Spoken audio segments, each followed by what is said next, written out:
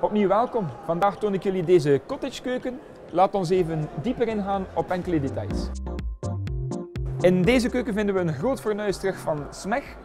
Een fornuis met zes branders voor de echte chefkoks.